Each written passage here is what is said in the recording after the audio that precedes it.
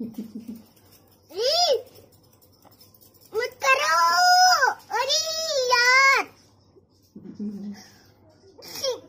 जला जला मैं अंकल को घूम रहे देखो। हम्म, ऐसा नाम क्या बाबू तुम्हारा? मेरा नाम अनुसूच है। अच्छा। अनुसूच की बाल मत काटो। तो अरे! दादी का नाम क्या है? अनूप। अनूप।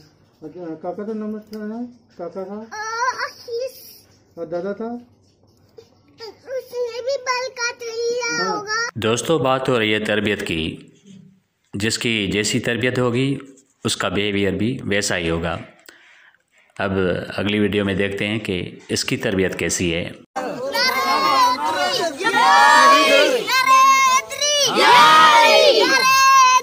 जय।